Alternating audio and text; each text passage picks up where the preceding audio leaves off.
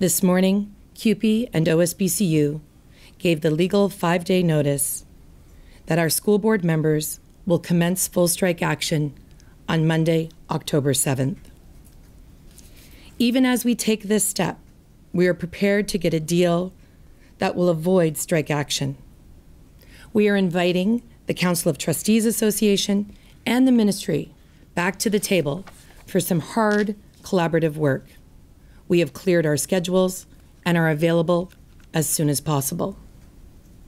If there is a fair deal to be had, parents, students, and the public can be assured that CUPE will find it. I commit to the families of Ontario that our team will be doing everything possible to find a deal that is fair for everyone. If there is no fair deal to be reached, make no mistake. CUPE members are ready for full strike action on October 7th. Deadline bargaining is part of the process. This is not unique. Creating a pressurized environment is not unique. Now, notwithstanding, I remain determined to reach a deal. And I remain mission focused on keeping kids in the classroom of this province. I appreciate concerns. Uh, parents are concerned with CUPE announcing a full out strike action, only 48 hours.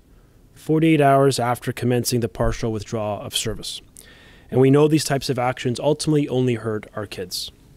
Now, I can't speak to why they're ramping up only days in to this job action, but I do sincerely hope that CUPE agrees to meet with my team as soon as humanly possible because we stand ready today to land a deal and to negotiate in the interests of our kids. I continue to stand with parents as we work to protect our students' futures, continue to invest in their potential, and keep them in the classroom of this province. Our students deserve no less.